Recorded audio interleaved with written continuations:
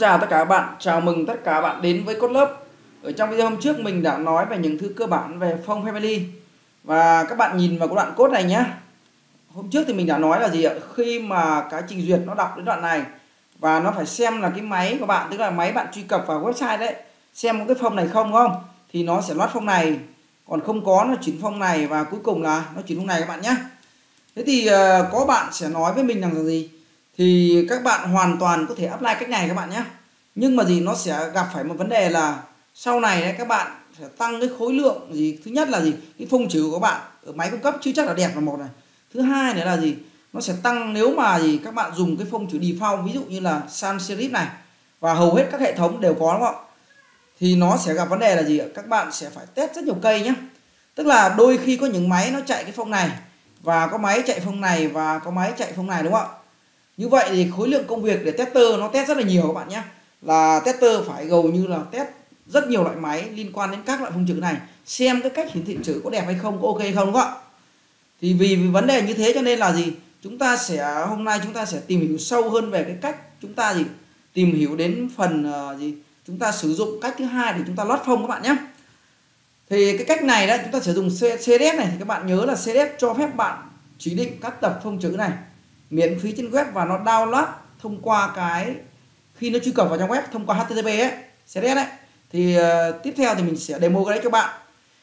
Cho nên là gì? Bất cứ một cái trình duyệt nào các bạn nhé có hỗ trợ CSS thì các bạn đều thỏa mãn cái điều kiện là gì? Load link được cái phông này. Thì cái việc này thì nó đơn giản hơn nhiều so với việc là gì các bạn gì để cho các cái máy cá nhân định dạng xem là các phông này có tồn tại ok không các bạn nhé. Rồi. Thì để demo cho cái việc này thì uh, các bạn là vào cho mình cái ờ, tức là mình sẽ có hai cách. Một là các bạn có thể download phông đấy về trên về trên máy các bạn. Sau đấy các bạn thì chỉ định chỉ định đường dẫn nhá. Và các bạn ờ, thì khai báo cái phông đấy. Nhưng mà hiện tại thì bây giờ cái cách đấy thì là nó không được ưa chuộng và sử dụng rất ít các bạn ạ. Và bây giờ người ta sử dụng nhiều là dịch vụ phông service các bạn nhé và mình muốn nói đến cái dịch vụ phổ biến, rất là phổ biến là gì? Google phong các bạn có thể search cho mình cái Google form và mình hướng dẫn các bạn. Tích hợp cái Google form vào trên cái trang web của mình các bạn nhé. Các bạn search cho mình cái từ khóa là gì? Google form Google form nhé. Đó. bạn kích vào cái link đầu tiên này Google Phone google form này. Thì nhất là cái thằng này là miễn phí các bạn nhé, nên các bạn không lo lắng về vấn đề bảo quyền, bán quyền, đúng không ạ? Và những vấn đề khác. Còn khi các bạn download form ở trên mạng ấy, thì các bạn còn phải quan tâm đến vấn đề bản quyền nữa cơ, đúng không ạ? Cho nên là gì? Cái cách này bây giờ đang được ưu tiên rất là ưu tiên các bạn nhé. Rồi ở đây thì các bạn có thể search cho mình mình hay sử dụng là roboto chẳng hạn nhé. Ngay trên đầu các bạn này Đấy, roboto. Đó. mình search ra roboto này. Thì các bạn thấy không? Nó ghi ở bên góc bên phải này nó có 12 style nhé. Tức là gì? Có 12 cái kiểu khác nhau về roboto bạn kích vào. Kích vào nhé các bạn uh, dùng phông nào thì bạn search sao bạn kích vào thôi. Thì bạn thấy không ạ? Thì tất cả những cái kiểu này thì nó chỉ khác nhau là gì? À, về cái gì cái kiểu dáng các bạn nhá. Ví dụ như đây là cái độ đậm của nó là 100 này hay là độ đậm của nó 100 nhưng mà kiểu dáng của nó là gì? In nghiêng nhá. Đúng không? Còn này cái gì? Cái ờ, này là gì? Độ đậm của nó là 300 này 300 in nghiêng này và cái loại này là loại thông thường các bạn nhé và, và loại này là thông thường và in nghiêng. Đấy loại này là medium này. À, loại là gì? Nó độ đậm của nó 500 này và 500 là gì? In nghiêng 700 700 in nghiêng và 900 900 in nghiêng các bạn nhé. Thế cho nên là gì? Tất cả những cái loại này nó chỉ khác nhau ở độ đậm nhạt này và cái kiểu hiển thị style của nó là in nghiêng hay không in nghiêng các bạn nhé. À, cho nên là gì? Các bạn mới dùng cái từ khóa là phong family family tức là gì nó chỉ ám chỉ rằng là tất cả những cái thằng này đều là cùng một họ là roboto các bạn nhé. Mặc dù nó có nhiều style khác nhau nhưng nó cùng họ là là gì? Cùng họ family là roboto. Đấy thì để ép cái phông này các bạn click cho mình cái dấu cộng này select zip uh, phông uh, 100 các bạn nhé. Select thin 100 này. Tức là mình chọn loại phông là gì? Có cái độ ờ, phong phông quế quay nhé độ đậm là 100 là độ loại phông là roboto kích vào đây ạ. À. đó. Thì khi mình kích vào đây thì nó gì? Nó hiện ra cho mình là à cái link này mình có thể cái gì? Sử dụng trên web bạn này. Nó yêu cầu là sử dụng trên web thì các bạn chỉ cần gì? Đưa cái copy cái link này vào và sử dụng cái dòng code này là ok các bạn nhé. Thì rất là đơn giản không các bạn? Thì uh, ở đây thì mình đang chọn một loại Roboto và weight của nó 100 các bạn nhé. Bạn nhìn cái phần đi đậm này.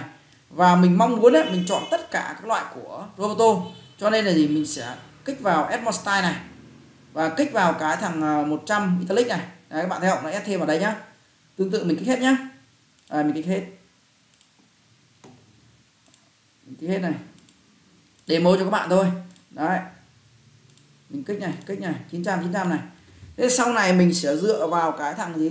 Mình có thể là phong quay bằng ờ, 900 để mình ra cái độ đậm nhạt của nó các bạn nhé xong rồi sau khi mà à, thành công ấy thì các bạn nhìn ở bên đây này cái ờ, bên tay trên này nó đã chọn cho mình tất cả phong không?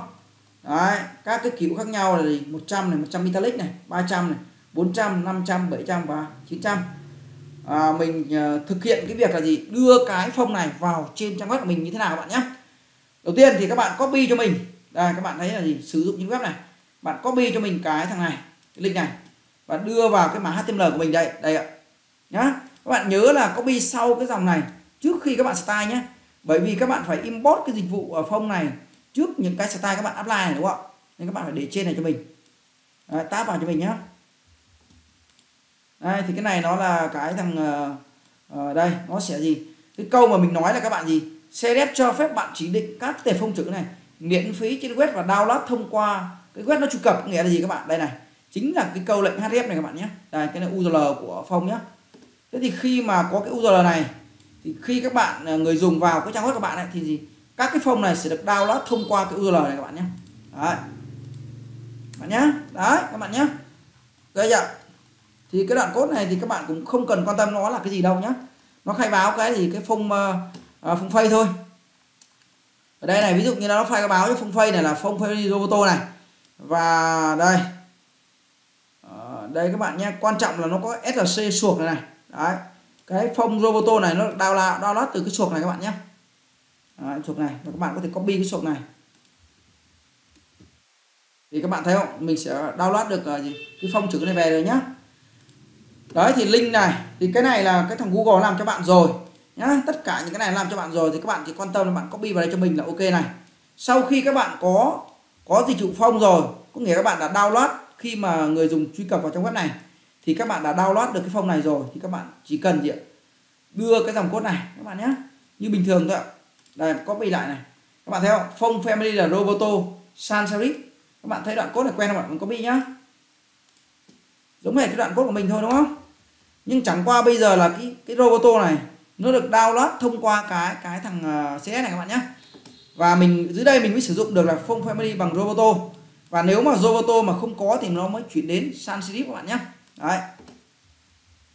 Thì khi bạn dùng cái này thì bạn sẽ gì? Tránh được rất nhiều cái cây liên quan đến việc là các trình các gì các cái hệ thống máy của khách hàng khác nhau bạn nhé. Đây mình sẽ thử này.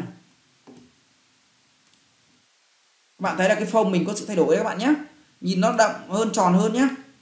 Ờ, mình sẽ chạy lại cái thằng này đây chuột phải này vào open với là server bạn thấy không? Chữ mình nó tròn hơn nhé và mình inspect lên. Nếu mình bỏ cái phong family là roboto đi các bạn nhìn này.